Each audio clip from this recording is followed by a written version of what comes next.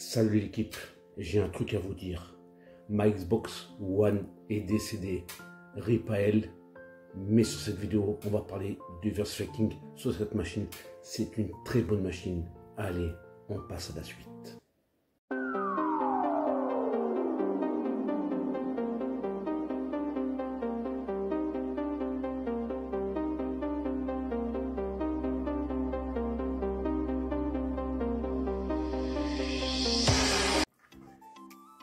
Chers abonnés, je vous dis salut.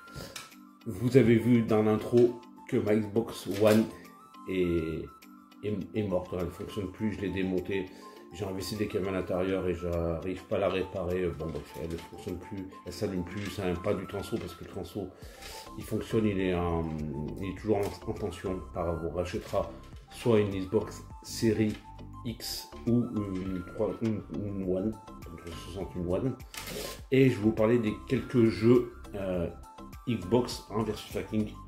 Euh, c'est une très bonne machine, franchement. Euh, les gens ils étaient PS4 à l'époque, mais la Xbox, dans, dans le ventre. à part Microsoft, Microsoft en jeu, ils sortent pas beaucoup d'exclus et on aimerait bien Killer Instinct 2. Mais bon, Sony sur ce côté-là, il défonce Xbox en excluant tout ça. Bon bref, on va pas revenir sur la guerre Xbox, euh, Microsoft et après Nintendo. Euh, alors, déjà on va commencer par le dernier jeu que j'ai fait avant que la console euh, elle meure. Alors j'avais fait le One Piece Burning Blood. Alors ce jeu, ça se, c'est une vue en arène comme par exemple euh, euh, Jump Force ou plein de jeux comme ça.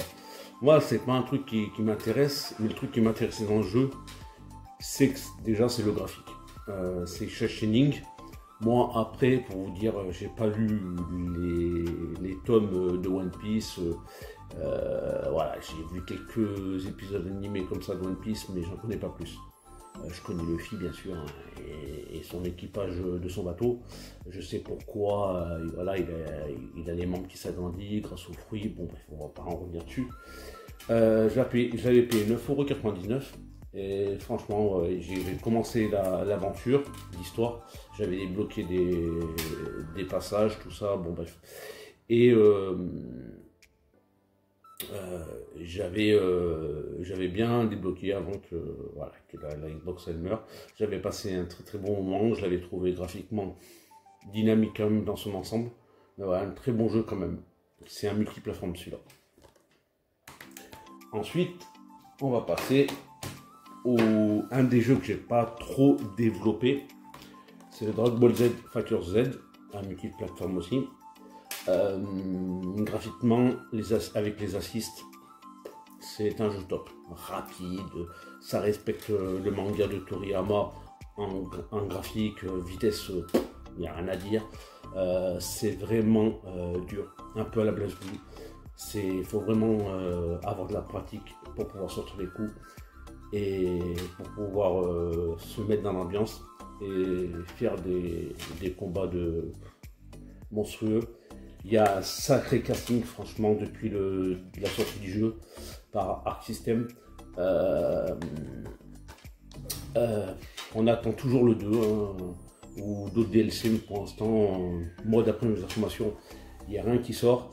Euh, il y a toutes les transformations de Goku, il y a, tous les personnages de DBS qu'on qu'on a vu pour le moment dans l'animé et puis plein d'autres choses. Mais franchement, il est vraiment complet. Euh, c'est un 3 euh, contre 3. si vous avez vraiment envie de faire euh, un jeu qui respecte vraiment l'univers de, Toriyama, foncez sur le Factor Z. Ensuite, on va passer au encore un multiplateforme, le Injustice 2, l'équipe de Mortal Kombat qui, l'ont créé. franchement, c'est lent comme jeu. Mais euh, ça fait toujours un plaisir de, retrouver les, jeux et les, personnages plutôt de l'univers de, DC et Warner Bros. Et euh, graphiquement c'est beau. Euh, il, y a eu, des DLC. On attend toujours le 3. Euh, on pensait qu'il allait avoir un 3, mais ils ont sorti Mortal Kombat 1 d'abord. Il y a des fans qui, voudraient vraiment voir la, licence revenir. Après, il y, avait une rumeur qui courait que Ed Boon, le créateur de Mortal Kombat, voulait faire un, DC vs Marvel. Pour l'instant, on n'entend pas, pas, plus parler. Euh, moi, j'ai l'édition euh, Gauthier euh, en steelbook sur PlayStation 4. Ensuite, on va passer au Tekken 7. On va rester dans l'ambiance du Tekken 8 qui est sorti il y a quelques mois. Le Tekken 7, euh, c'est un Tekken 7 que j'ai bien aimé. Le, mode histoire et la fin me m'ont pas surpris à la, base. Il faudrait bien qu'un personnage disparaisse. Euh, dans le 8, il n'y est pas, mais il y a une petite variante. Euh, il est revenu, on va dire, dans un autre corps. graphiquement, il est vraiment beau. Moi, le Tekken 7, j'ai vraiment, vraiment adoré. Je n'avais pas pris des One à l'époque. J'avais pris quelques mois après 29 euros dans mon magasin préféré à Fers. J'espère qu'il va rouvrir après euh, que le magasin avait brûlé. Euh, l'édition, il y avait un steelbook avec, j'avais déjà fait montrer euh, sur les réseaux sociaux, sur Instagram, Facebook. Il est vraiment trop trop trop, beau. C'est encore multiplateforme. Ils sont allés au maximum des DLC Nako Bandai pour ce jeu. Et le dernier, c'était le, le, le Kickboxer, le, ouais, le on va dire, le grand, le très grand, qui ressemble un peu à Sagat, et qui n'est pas revenu dans Tekken 8, je n'ai pas compris pourquoi, il y a ni Bruce dans Tekken 8. Ensuite, on va passer une bonne petite compile, que j'avais acheté sur Xbox à l'époque, parce que sur PS4 je ne la trouvais pas. Euh, c'était pour les 30 ans de Street Fighter, avec tous les Street Fighter qu'on connaît, qu'on a, qu'on a connus. Il y a une petite mallette de Proust pour moi. Euh, le, Short, le Six Fighter 3 Short Sprite qui était sorti sur Dreamcast, que je n'arrive pas à me, trouver pour le moment, il, est, il a un prix très élevé sur, euh, sur la Dreamcast pour mon full, et je l'aurai un jour. Et ça fait plaisir de le découvrir euh, dans cette compile pour le 13e anniversaire. Il y a vraiment tous les fighters du 1 au, au 2, au 3, au alpha, et puis ainsi de suite. Le chef complet, vous pouvez la trouver au bout de petit 9 euros, on va dire. Et franchement, sur Switch, je pense qu'elle doit bien se, comporter et ça doit faire du bien de jouer aussi euh, les jeux 2D euh, sur, la, sur la Switch. Ensuite, on va passer, allez, on va passer. On va passer au, au Mortal Kombat XL, le 10. Euh, moi, le 11, euh, Mortal Kombat 11, je l'ai apprécié, mais moins que le 10. Moi, je trouve que dans le 10, euh, les personnages horrifiques des films qu'on a connus, même que je ne suis pas fan des films d'horreur, mais je connais quand même les, personnages, voilà, pour la pop culture, comme Massacre de Tronçonneuse, il y avait Alien, il y avait Predator dans celui-là. Et franchement, je trouve qu'ils étaient trop trop bien dans le thème, ces personnages-là, ils sont là, et que dans le 11 après je trouve qu'ils ont trop mis euh, de pop culture comme, euh, euh, Terminator Robocop. C'est des bons personnages, mais moi je préfère qu'ils restent dans l'horrifique pour Mortal Kombat. Un DLC c'est. Et puis, et puis comme me disait un collègue joueur à l'époque, un Micromania, il me disait que franchement, ouais, le Mortal Kombat XL, en point de vue gameplay, c'était un des meilleurs Mortal Kombat jamais sortis. Après, le Mortal Kombat, il a bien rattrapé les lacunes du 11. Mais franchement, un super mode d'histoire comme d'habitude. Euh, ça, euh, Elboun et, son équipe savent le faire. Voilà, celui-là, si vous avez envie de le prendre, prenez-le bien en XL, pas en X, comme vous avez tous les DLC inclus dedans. Je sais plus si c'est en code ou sur le disque, euh, voilà. Mais franchement, un très bon mental combat. Ensuite, on va passer par un jeu très très détrié par la critique. C'est le Marvel vs Capcom Infinite, le dernier. Euh, moi, j'étais bercé euh, par les deux, le Marvel Capcom 1 et 2 sur Dreamcast, où mon fils a découvert les jeux de combat à l'époque. Euh, sur Dreamcast, il n'y a rien à faire, c'est deux classiques. Après, le 2 est sorti sur PS2 et le 1 est sorti sur PS1. Et celui-là, en gros, il est, il est comment dire, un gameplay très facile pour les, pour les, euh, pour les novices, mais pour nous, les, ceux-là qui ont connu les anciens Marvel, euh, il est un peu moins exigeant que les autres. Après, bon, il y a toujours les attaques multi-héros, on va dire, comme c'est un, 3 contre 3, comme Factor Z. Et les attaques sont vraiment magnifiques. Pour celui-là, c'est voilà, magnifique comme c'est génération vraiment au-dessus de la Dreamcast. Mais ouais, ouais c'est pas un jeu qui restera dans les annales. Il y a des rumeurs qui disent qu'il y en a un autre qui va sortir, mais j'espère qu'ils feront mieux. Après, on retrouvera toujours Iron Man, Spider-Man, Ryu, et puis ainsi de suite. Euh, ça fait toujours plaisir. Et, euh, le méchant, il est, moi je trouve qu'il est trop gros par rapport à l'écran et, c'est Gala, Galaxus, il me semble. vous me direz un commentaire. Mais voilà, un très bon jeu, mais avec des beaucoup de bémols. Puis pour terminer en cours de jeu, il y a ma manette de pouce sur la console, c'est une exclue, mais d'abord on va passer à un autre jeu que j'ai pas développé. Franchement, je vous dis la vérité, c'est Shamura Shodown. Euh, le dernier, c'est le sixième, il me semble bien. Euh, certes, c'est hardcore, hein, un peu à la Mortal Kombat sans facility, mais il y a du sang.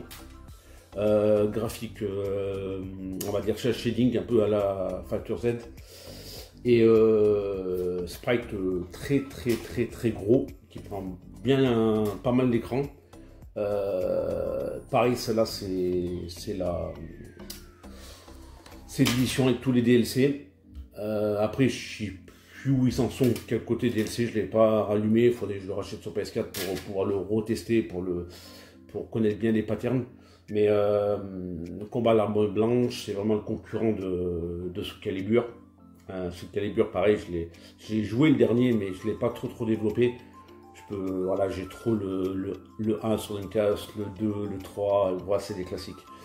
Et euh, ouais, euh, ils ont bien fait, franchement, ils ont fait un magnifique jeu.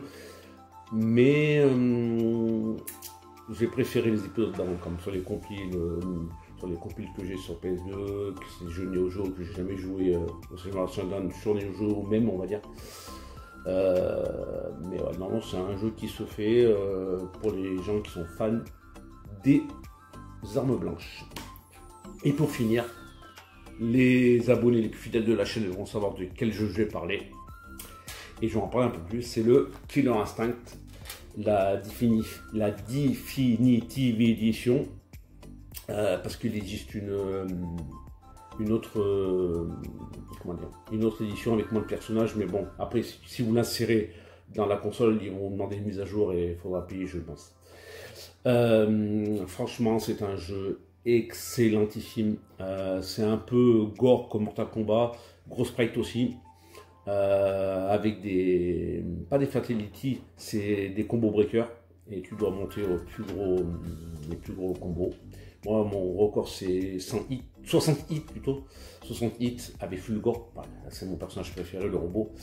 Euh, franchement, la, Xbox, elle crache vraiment ses pixels pour ce jeu-là. C'est vraiment un excellent jeu. Alors, petite mise à jour sur ce jeu. Euh, pour les 10 ans du jeu, Microsoft, il y, a, il y a deux mois, je crois, ou trois mois, ils ont sorti une, une grosse mise à jour pour les 10 ans. Euh, ils ont recalibré en 4K pour la, pour la série X et la série S. Et euh, je ne sais plus s'ils ont rajouté des personnages, mais c'est vraiment beau. Ça fait plaisir que, Microsoft n'oublie euh, pas qu'il est en 5. Cette mise à jour sortira pas en physique, ça on le sait très bien. mais ça fait plaisir. Et un roster de qualité. Et je pense que ça va peut-être aboutir, espérons, sur un Killer, Killer Instinct numéro 2 mais j'espère qu'ils vont pas le faire à la, à Wake numéro 2 et que ce sera juste un jeu en démat. Parce que moi, le démat, pour le moment, euh, ça, me, ça me rebute un peu. Euh, normal avec mon âge, j'ai eu 44 ans, alors euh, moi j'ai. Voilà. Mais après, si vraiment dans le futur j'ai vraiment la série X et a, que le 2 qui sortira en démat, je le prendrai parce que j'adore ce jeu. Voilà. Après, j'ai la version SNES avec la cartouche noire, le complet avec l'OST. Bref, vous le savez déjà. Allez, si vous avez aimé cette vidéo, n'oubliez pas le pouce bleu, l'abonnement et dites-moi euh, quel est vos top 3 euh, de versus Fighting euh, PS4 Xbox One, on va dire. Voilà, on va dire ça comme ça.